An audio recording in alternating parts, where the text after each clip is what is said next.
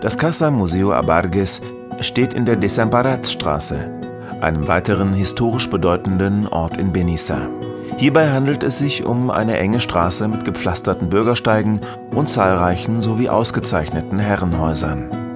Große und lange Balkone mit Gitterfenstern, Fassaden mit Portalen und Wappen bieten dem Besucher die Darstellung der mächtigsten Familien Benissas der letzten drei Jahrhunderte. Die Häuser der Piera Torres Torres Orduña und auch der Baidal y Filiu sind überzeugende Beispiele adliger Familiennamen und ihrer wirtschaftlichen Macht. Auf mittlerer Höhe der Straße steht das Casa Abarges Haus, das heute ein Museum ist.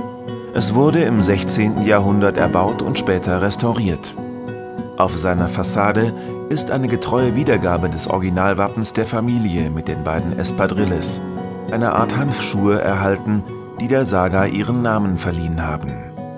In seinem Inneren führt das Haus auf eine Reise durch die Zeit.